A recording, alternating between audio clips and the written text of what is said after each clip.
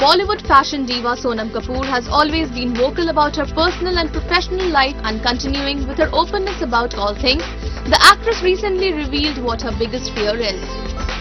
While interacting with the audience at the Kala Ghoda Arts Festival in Mumbai, the Raanjhanaa star opened about her biggest fear.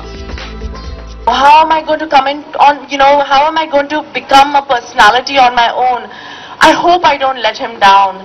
I hope I don't let my family down. And that has been my fear every day and every day I'm reminded of it.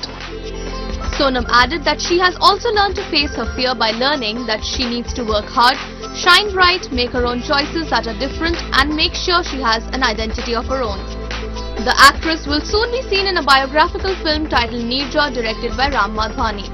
The film is scheduled to release on February 19. From ANI's Mumbai Bureau.